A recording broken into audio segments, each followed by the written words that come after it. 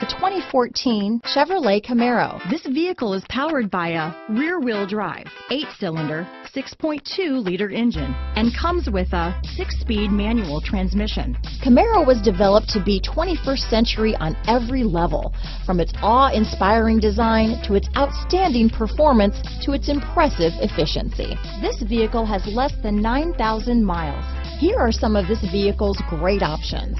Rear wheel drive, tire pressure monitoring system. Wouldn't you look great in this vehicle? Stop in today and see for yourself.